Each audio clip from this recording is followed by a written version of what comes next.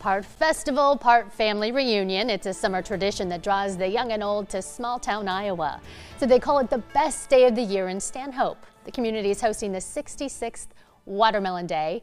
Grant Young from the Stanhope Lions Club joins me now to talk about the fun that's about to be had this weekend. Yeah, thanks for having us. I know you're prepared. Socks, yeah, you know, shirts, you're good to go. It's the only time of the year where you don't look ridiculous wearing this stuff. So uh, you can wear it year round. You can wear it year round.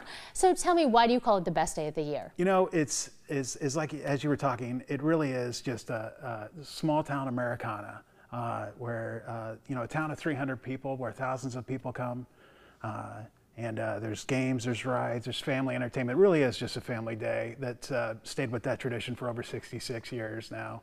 Uh, and and and people keep coming back and like in family reunions and, and, and everybody like that. so take me back a little bit to the history. Obviously, you haven't been around for the 66 years, but you were saying that it's been a family tradition of yours as well. Yeah, no, it has been, and and for a lot of people back home, and uh, whether you know for uh, you know, I, I, think that there's actually a lot of families that I know of that more people show up to Watermelon Day than their Christmas or any other holiday. so it's it kind of is a the third Saturday every year of July, and everybody comes back. Um, and there's there's so many traditions because a lot of the same rides that were there from the beginning have all been refurbished and been used since, since beginning with the trains and everything. So. Uh, it's uh, and and people from all around join us for that. Of course, the free watermelon starting at right. one o'clock.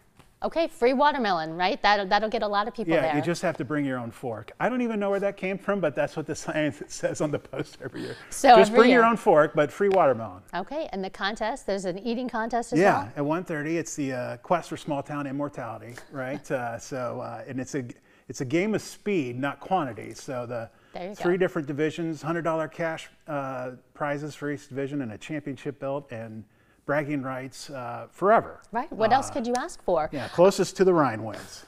this is a lot of fun, but it also benefits a good cause, the yeah, Lions. Yeah, Stanhope Lions. This is our biggest fundraiser every year and has been, and those funds go towards uh, community improvement, scholarships, all year round, uh, and community projects that, you know, every every community in Iowa has a Lions Club and sure. we serve, and so it's uh, doing the best that we can to make our communities better. So it's it's a big fundraiser, but it's also just a lot of fun. So uh, we invite everybody across Central Iowa. You know, if you're you're in the Des Moines area, just get in the car about nine o'clock, head up Highway 17 or the interstate, and uh, get there for the parade at 10:30. Okay, yeah, it's a day-long event, a short drive just north of Des Moines. Yeah make it to Stanhope and uh, make it a family tradition. Yeah, make like it a yeah, turn, yeah. If you come once, you'll keep coming back every year. Okay, that's what you're hoping for, and you can get the watermelon merch as yeah, well. Yeah, all sorts of different things there. And yeah, so the only if you got great water, you know, it's become a tradition too, is that people wear their best watermelon outfits, suits, dresses, that earrings. That should be a contest. You guys need yeah, to add well, it.